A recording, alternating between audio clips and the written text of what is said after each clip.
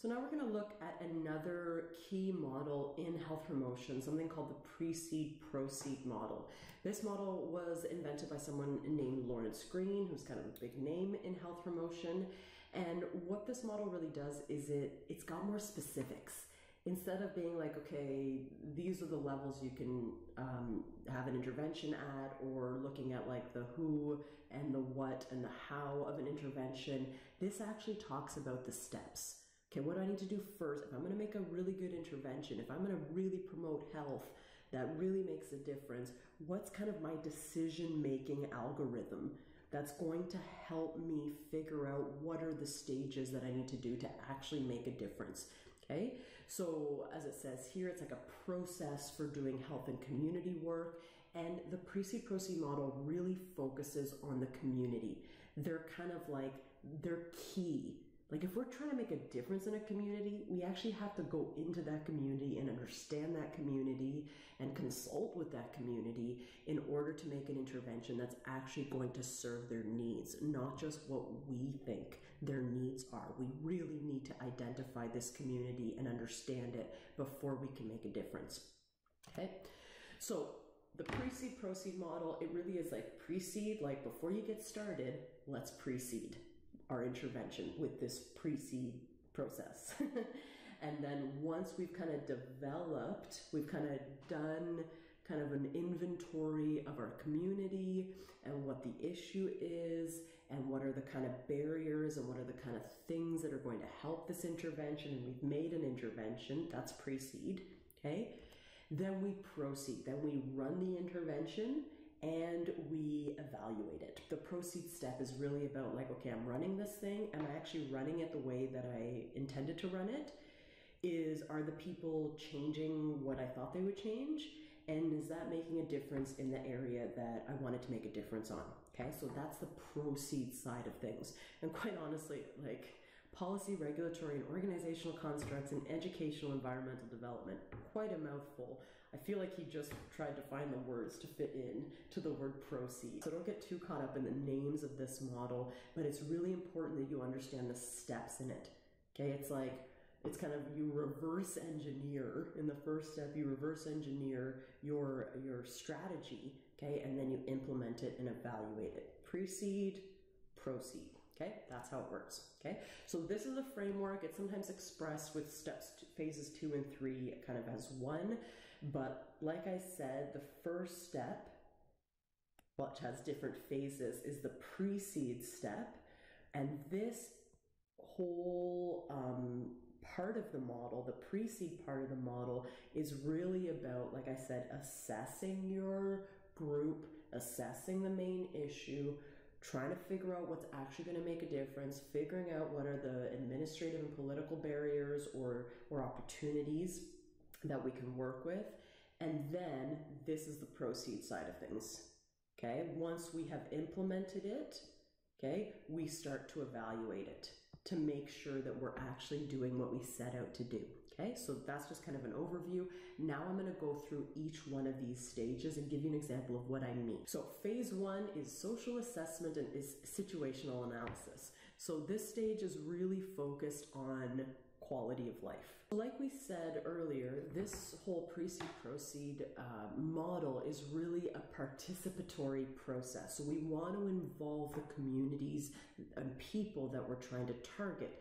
And that's really important, especially in this first phase where we talk with our population and figure out what kind of quality of life issues are they really facing is it are they facing uh, like educational uh, low education levels low income levels low opportunities for physical activity low opportunities to practice their cultural practices? Okay so we consult with them with kind of their big big ticket items of like what is kind of hindering their quality of life okay?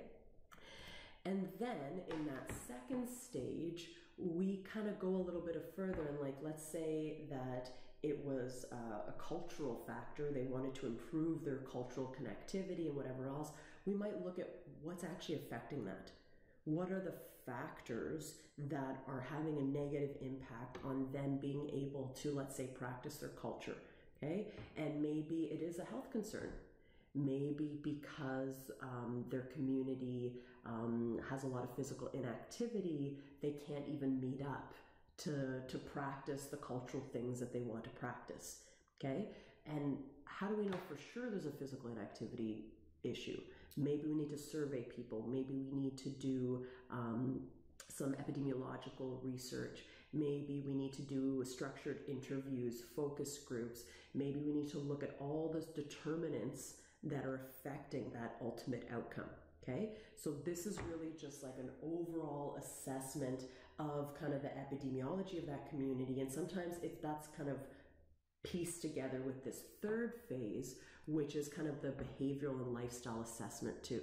Okay, so what kind of things, for instance, are, are blocking their ability to be active? Why are they not being active? What kind of behaviors are standing in their way or other factors are standing in their way? Okay.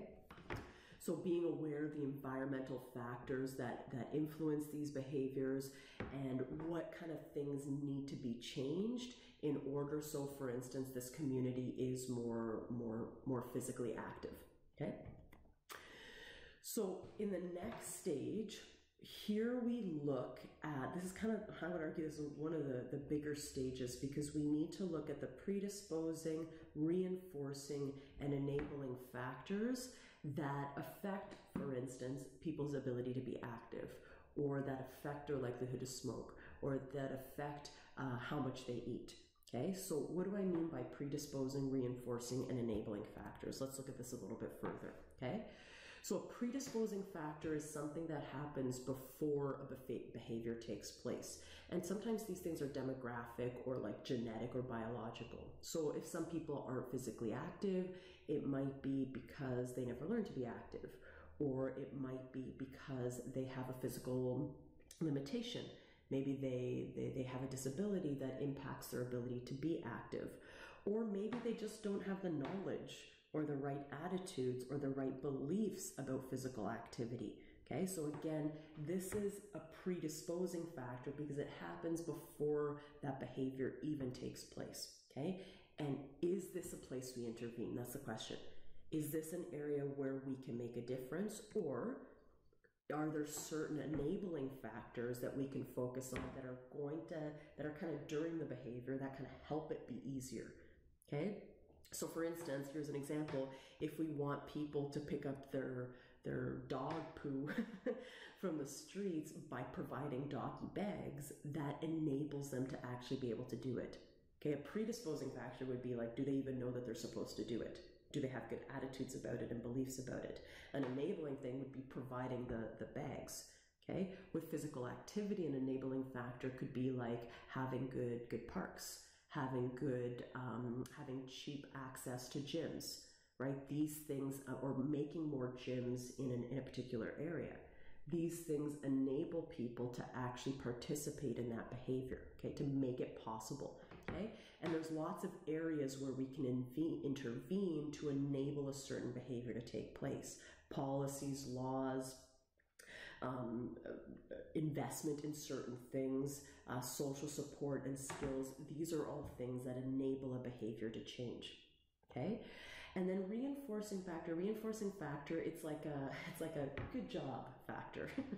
it's like a you you are doing the you adopted the behavior and you're doing it. How do I just make you feel good about it? How do I make you keep doing it? Or influence you so you feel like, hey, this, like, ah, I did it. I'm like doing a good job, right? That's a reinforcing factor.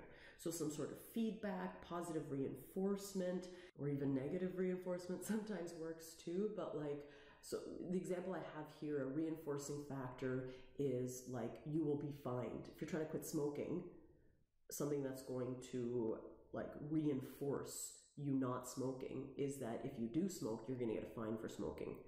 Something that reinforces wearing a mask in Colombia is if you don't wear a mask, you're going to get a fine. Conversely, it could be like praise. Like if you do quit smoking, maybe the people around you, they're going to be like, yeah, there's a community excitement about it.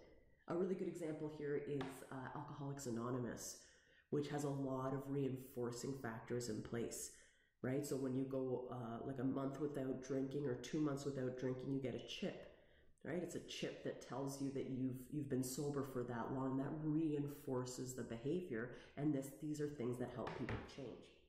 Okay, so like I said, in this fourth stage, we look at these predisposing, reinforcing, and enabling factors and see can we hit all three of them in our intervention? Or, and again, we'll work with our community to figure these out. Like, are these areas where, what are these areas and where can we actually make a difference in a way that our community wants us to make a difference? Okay, because remember, you got to work with your community on this. Okay, and then phase five is like, is what we want to do actually possible? What are the administrative barriers? What are the political barriers in place? Right? So if we're trying to get clean drinking water to a to a place, is there political capital to do that? Right? If we are trying to build more parks so people find it easy to exercise, do we have the space for it? Do we have uh, an eager politician that's trying to score points by investing in something like this? right? Is there is that, is that even geographically possible to create that park? Okay, so we want to make sure that what we want to do is aligned with kind of what's possible, given the system that that these individuals are existing within. Okay, and sometimes we can find, and the cool thing is sometimes we can find policies that are like, hey, that's going to help me. Right? If I use this policy or this funding body or this other thing, it's actually going to help me do my intervention. Okay, so all of that is the precede. Okay, so before my intervention, let's talk to my community, figure out what their problems are, figure out why they have those problems, figure out how we can, what are the predisposing, reinforcing, and enabling things that are affecting those things, and figure out what are kind of the system based factors that are going to help or hinder our ability to deliver a particular intervention. Okay, so that's precede. So now that we have preceded and we've thought out an intervention, we've consulted with our community, we kind of have an idea of what we want to do, and we're going to do it this way because it actually helps this community in this particular way, in a way that they want to be helped. Now that we've figured out our intervention, now let's run it. Now let's run it and evaluate it. That's proceed. Okay, so phase six is actually running the thing. Okay, I've decided to intervene in this group of people. They want me to do this. They have this problem. I figured out, or we figured out together, that they have this problem because of this other thing.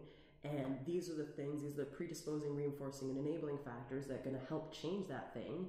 And given the political system that they're in and the administrative system they're in, these are the changes that are actually possible to make. Okay, now let's start running it. Okay, this is what I decided on. Let's start running it. That's phase six. Okay. And then phase seven, eight, and nine, these are all about evaluation. Am I actually doing what I set out to do?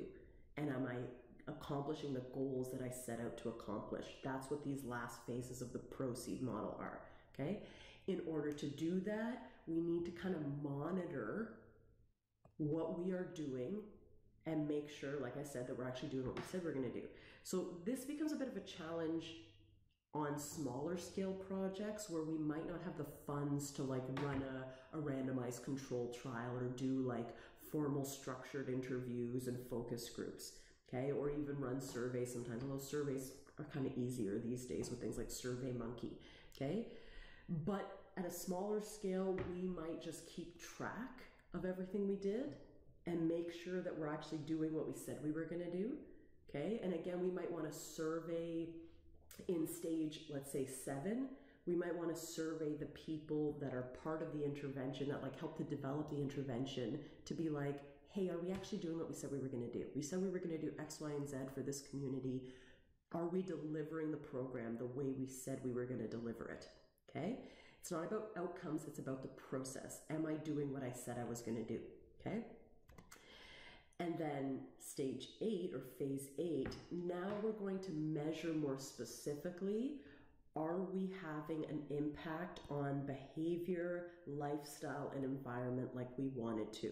Okay, has the environment changed? Has behavior changed? And again, surveys, uh, randomized control trials, ideally, these kind of things can help us in this process. And then in phase nine is like, did I actually change that bigger level thing I set out to change? Right? Is there more cultural inclusion, for instance?